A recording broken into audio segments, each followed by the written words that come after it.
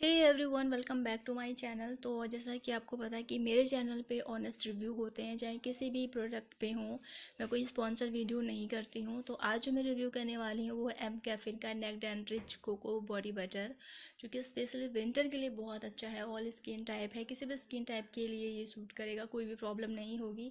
हाँ लेकिन अभी समर स्टार्ट हो गए हैं तो ये ऑयल स्किन के लिए थोड़ा सा प्रॉब्लम कर सकता है। बाकी बहुत ही अच्छी तरह से ये मॉइस्चराइज करता है। इवन मैं इस टाइम में भी इसे लगा रही हूँ तो मुझे ऐसी कोई प्रॉब्लम नहीं हो रही क्योंकि मेरा सिर्फ़ फेस ऑयली है। फेस पे मैं इसे अप्लाई नहीं करती हूँ। बाकी मैं अपने हैंड फीट पे करती हूँ। बहुत अच्छा काम भी करता है। ये एक एंटी एजिंग का भी काम करता है।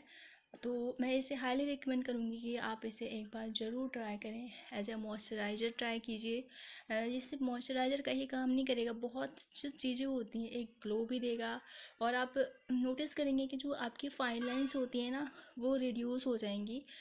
थोड़ा सा टाइम लगेगा, देखिए मेडिकेटेड जो क्रीम होती हैं, वो अपना रिज़ल्ट जो है बहुत तेज़ी से दिखाती हैं।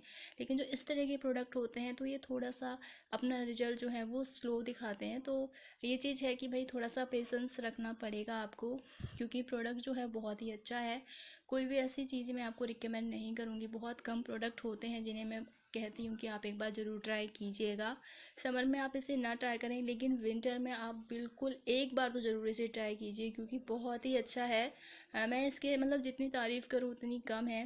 इतना अच्छे तरह से आपके स्किन को बिल्कुल मॉइस्चराइज कर देता है मतलब बहुत ही डीपली मॉइस्चराइज करता है। तो मेरी तरफ़ से हाई